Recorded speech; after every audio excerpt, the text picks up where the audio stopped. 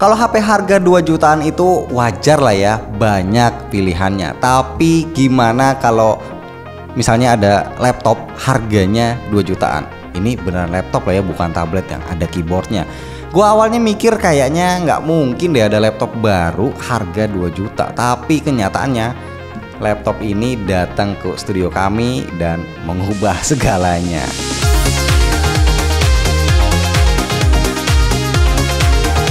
Bismillah, Alhamdulillah kita ketemu lagi bareng Goromi dan di video ini kita akan membahas Advan Soulmate berkaca dari harganya laptop ini bisa jadi salah satu laptop resmi termurah yang ada di pasaran saat ini. Ini bakal pas banget jadi opsi buat para orang tua yang mau beliin buat kebutuhan sekolah anaknya atau siapa pun lah yang punya budget terbatas.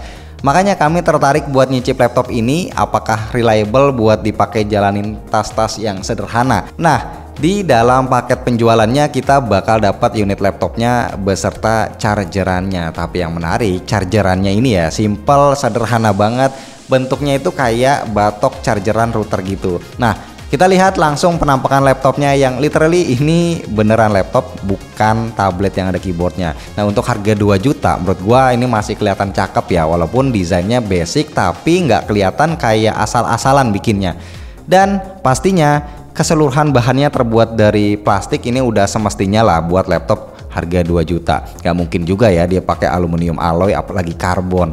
Dan gua nggak habis pikir dengan garansi resmi ini plus dapat Windows original barunya cuma 2 jutaan lebih dikit aja rada nggak make sense Windows aja harganya itu hampir sejuta. Ini mah kebangetan murah.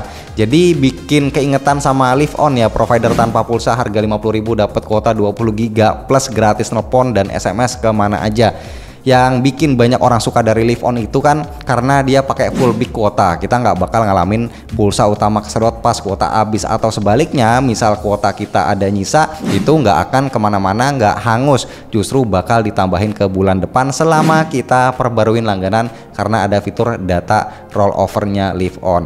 Dan gua pernah tuh pas mau mesen makanan dari ojol eh taunya kuota habis untungnya masih tetap bisa dipakai karena live on ngasih kita gratis kuota darurat 3 GB yang otomatis aktif pas kuota kita udah bener-bener habis nggak kayak provider lain yang kuota daruratnya aja itu mesti kita beli dulu nah kalau mau nyoba belinya online aja nanti aktivasi langsung dari appsnya nggak pakai ribet Speednya pas gua tes juga oke okay karena dia pakai jaringan 4.5G dari XL. Info lengkap dan link pembelian ada di deskripsi. Jadi kalian nanti bisa langsung cek sendiri aja. Oke. Balik lagi ke Advanced Soulmate. Doi ini dipakai chipset dual core Intel Celeron N4020 di kecepatan 1,1 GHz ini adalah chipset atau prosesor rilisan awal 2020 khusus buat laptop rendah daya secara TDP-nya cuma 6 watt aja.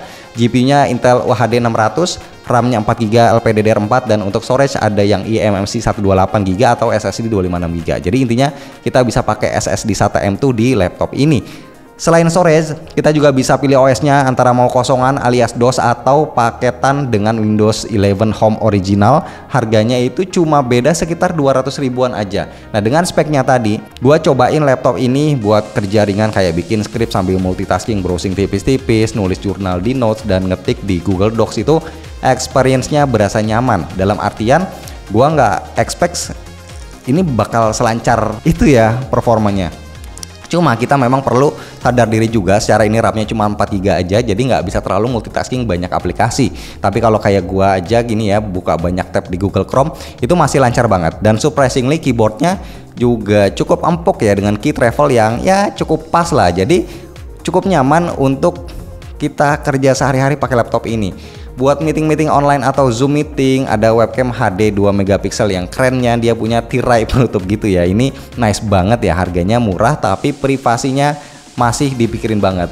Buat kualitas gambarnya ya cukup aja lah buat meeting online selama pencahayaannya cukup. Dan yang paling uh, mengagetkan juga ya trackpadnya ini ternyata lumayan lebar akurat dan responsif. Yang ini benar-benar gua nggak nyangka banget ya enak dan nyaman dipakai. Jadi nggak perlu-perlu banget lah kita buat beli mouse tambahan lagi. Dan karena udah pakai Windows 11 Windowsnya tuh running cukup smooth di laptop ini ya. Jujur awalnya gua agak-agak ngeri gitu ya laptop ini bakal lemot banget. Secara harganya kan cuma 2 jutaan ternyata at least sejauh ini ketakutan gua alhamdulillah nggak terbukti intinya kalau buat ya ngetik kerjaan atau bikin tugas sekolah so far so good. Sekarang kita lanjut bahas layarnya. Dia masih LCD dengan resolusi HD 1366x768. Bezelnya masih lumayan tebal tapi nggak tebal-tebal banget juga lah. Dan layarnya ini bisa ditekuk sampai 180 derajat. Buat harga 2 jutaan layar ini gue bisa bilang oke. Okay. Warnanya jelas nggak begitu vibran tapi lumayan tajam. Paling viewing angle aja nih yang agak kurang luas. Buat nonton YouTube ataupun Netflix masih cukup nyaman selama sudut pandangnya nggak terlalu nyamping banget. Advan juga ngasih kita speaker yang cukup keras, nggak pecah dan detailnya masih terbilang oke. Okay. Next, I/O ports yang disediain juga lumayan lengkap. Di sebelah kiri ada satu USB A 3.0, satu USB C dan HDMI. Di sebelah kanan ada satu USB A 3.0, satu USB A 2.0 dan jack audio 3,5 mm. Nah terakhir soal baterai, Advan nyematin kapasitas 5000 mAh atau 38 watt hour di laptop ini. Pengalaman gue pakai baterainya akan berkurang 32% setelah uh, kita buat ngetik ya selama 2 jam. Jadi kurang lebih ya bisa lah dipakai selama 5 jam selama bukan buat main game. Eh ya gue sengaja nggak tes buat main game ya karena memang peruntukannya ini kan lebih buat belajar, buat kerja atau ya buat multimedia. So nggak salah sih pas launching laptop ini Advan bikin jargon semua orang sekarang bisa punya laptop ini ya secara harga 2 jutaan itu masih reasonable banget buat siapa pun dan ini juga masih proper banget buat dipakai sekolah atau kerja. Dan buat Advan kalian udah bisa bikin laptop semurah ini. Semoga juga bisa ngasih layanan after sales yang bagus ya. Biar user yang pakai laptop ini lebih ngerasa aman dan nyaman